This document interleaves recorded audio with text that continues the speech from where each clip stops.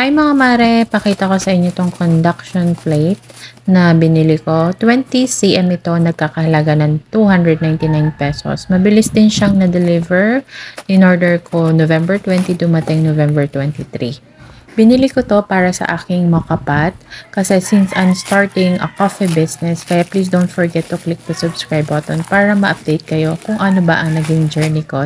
Pwede rin to sa pag-defrost or towing ng mga frozen food just like frozen na karne. 20 cm itong size ng in-order ko at kasya dito ang magkasabay na pagsasalang ng dalawang mokapat. At ito na nga, tinaray ko na siya and it's working perfectly well. At hindi ko nga nahinaan yung apoy kaya nag-splatter siya.